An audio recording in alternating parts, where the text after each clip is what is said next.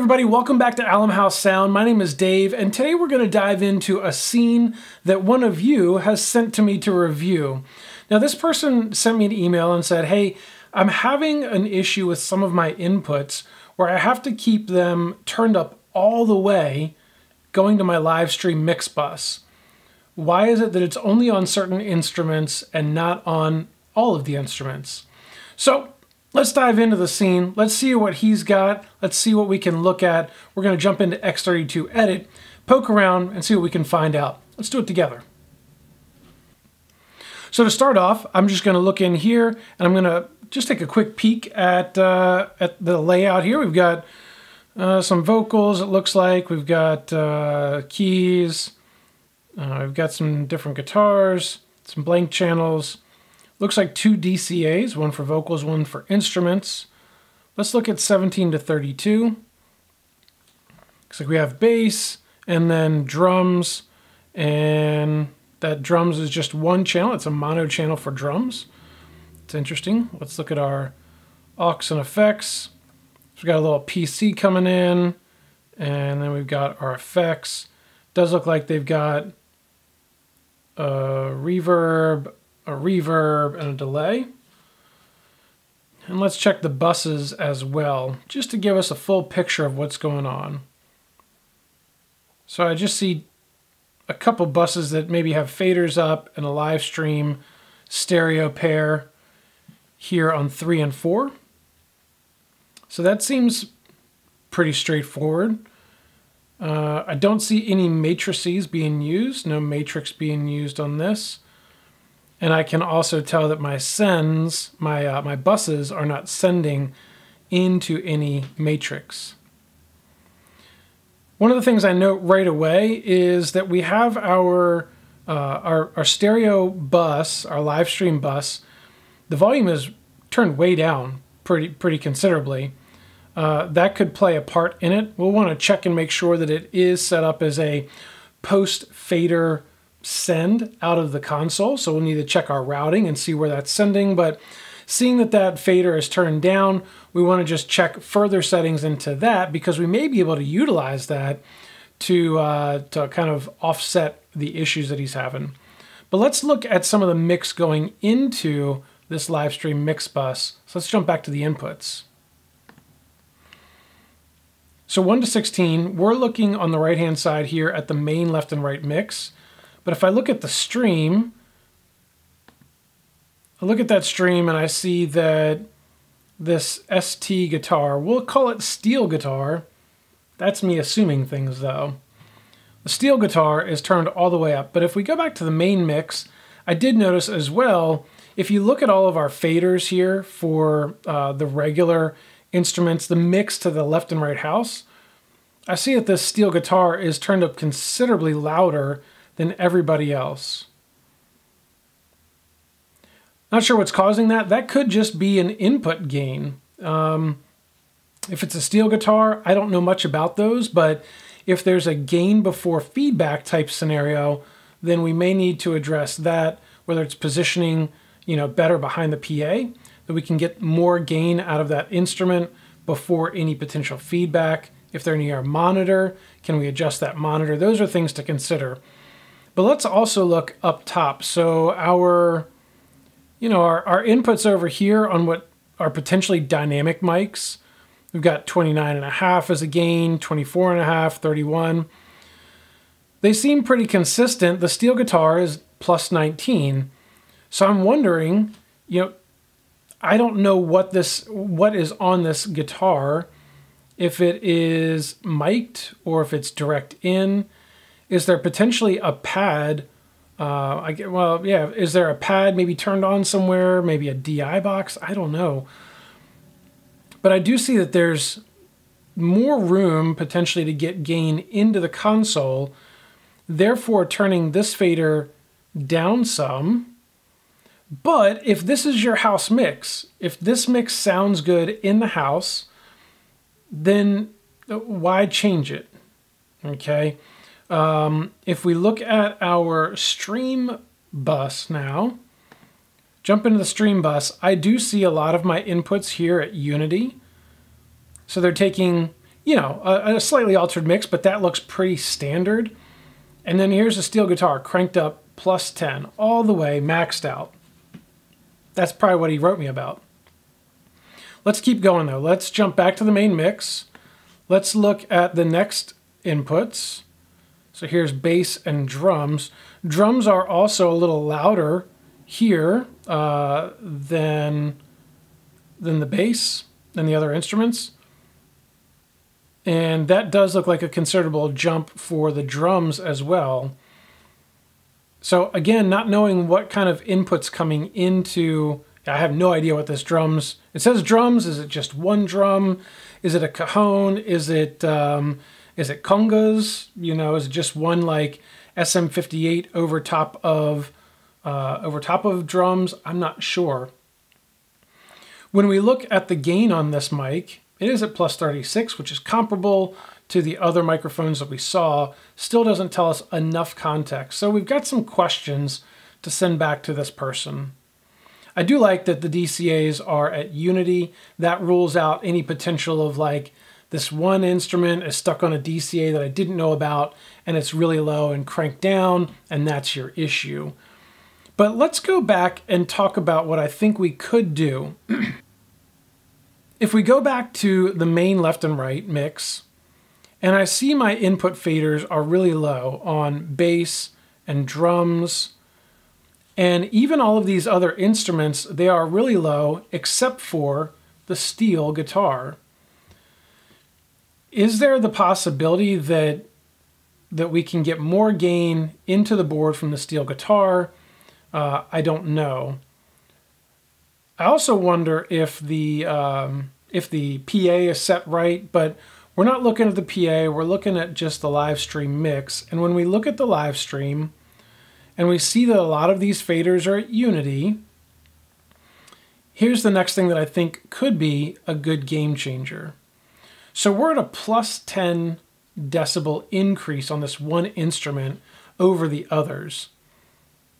Can we find 10 dB somewhere else that then we turn these other instruments down and we can bring this one down, but use something else to turn our entire mix up, giving us more headroom to be able to build a better mix.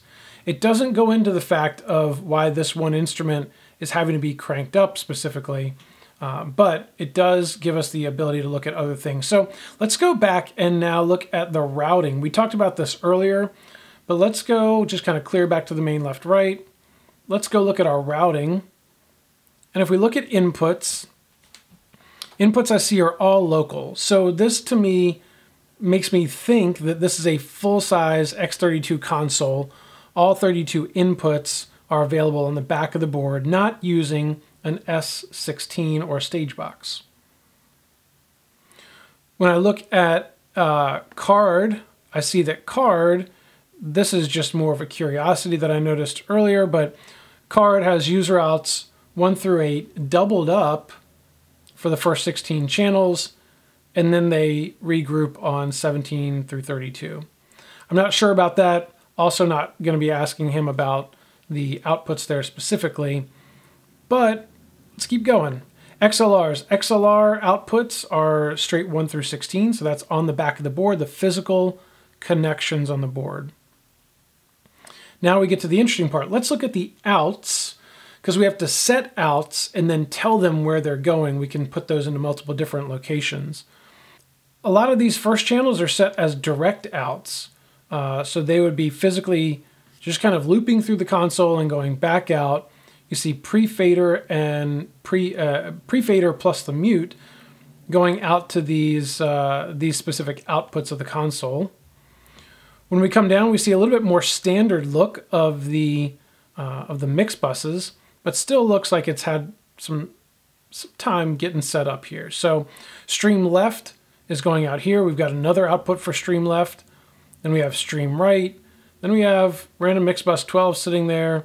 Then we have stream left again, and then off, and then we've got the main left and right. This further tells me that we're using that 15 and 16 for the outputs, which leads me to believe this is a full-size console. A lot of this poking around seems like it might have been done just as, uh, as trying to figure things out, trying to get life squared away. I'm sure you can relate to that at some point in your mixing career. I want to look at the aux outs next. Aux outs could tell us a different story. And when I see this, I see uh, aux 1 is an insert, uh, aux 2, yeah, this just just on the left and right, I don't know if they're really aware of what those are doing or how they're functioning, but they are set up there, and I don't think they're going to impact what we need to find out. Let's go back and look at these aux outs now. These, uh, these outputs down here are post fader for the stream. Let's assume that they're taking a signal from the, uh, from the output 12, uh, 10 and 11, excuse me, output 10 and 11. And we're taking those, the stream left and stream right, and we're sending that out of the console through XLRs. If so, this is great. Let's go take a peek at the user outs because we did see some user outs set up. And when I look at user outs, all I see here is that mix bus 3 and 4, so that is the live stream, is being captured post fader and being sent out of the console across USB. So this person might be using USB to, uh, to send their mix because again, bus 3 and 4 uh, are, are the ones in concern.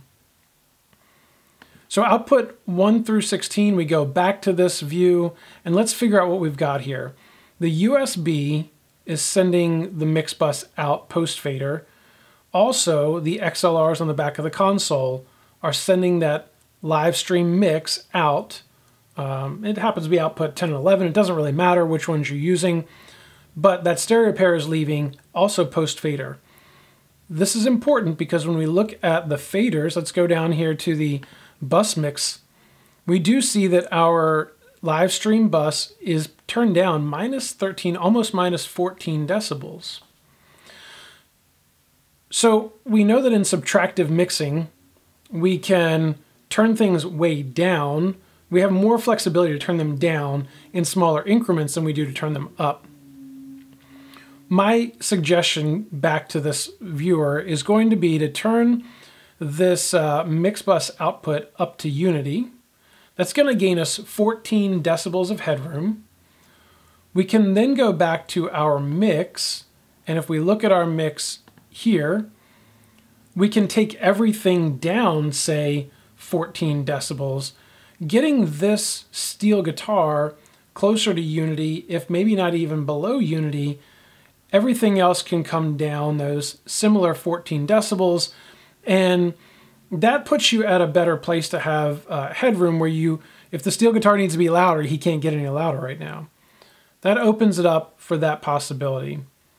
The other thing I noticed is when I go back to the buses, let's go over here to buses. We do have an effect inserted, and let's look at the channel. So we'll select the mix bus, we'll look at channel, and here we have an insert effect. That insert effect is the uh, precision limiter. That's fine.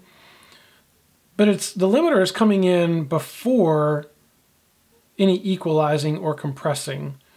So the next thing I want to look at is the uh, precision limiter. Let's take a peek there and let's pull up the limiter. So the limiter is doing just some basic limiting. So I see they're only pushing it up plus, uh, 0.5 and they have a 0 dB ceiling out there.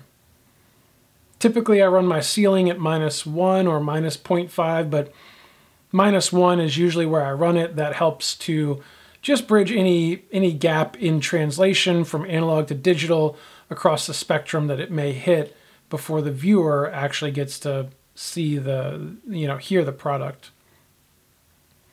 But I would love to take this, come back to the channel, and just move this to be post EQ, if you will.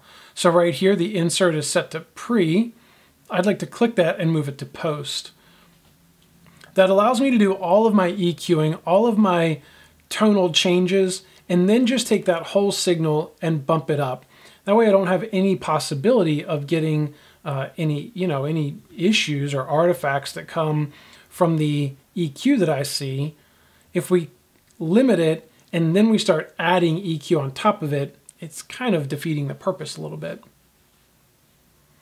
We have some other things we could do though in here with using compression just to kind of glue things together before it hits the limiter and goes out to that final uh, live stream destination. But the biggest things outside of those suggestions that I see when I look at this is I'm wondering what type of input is coming into this steel guitar. I'm guessing that that's what it is, but channel 12, uh, what is the input actually looking like? Can they get any more input gain without any feedback? And also with their drums down here on channel 18, 19, whatever it is, can they uh, can they get more input gain out of that as well? Each situation is different. Your situation is different than this one, and taking a look at this together may help you get some ideas about changes you could make into your environment. I don't know. But this is my quick look at what's going on with this person's scene. I'm going to send back an email with, with some suggestions and, uh, and some questions and see if we can help them out further. But I hope you found value in this video. If you did, hit the thumbs up button, hit the like button, and uh, subscribe button. Maybe share this with somebody else on your team or that you think might find this beneficial. Well, that's it for this video. We'll catch you next time. Peace.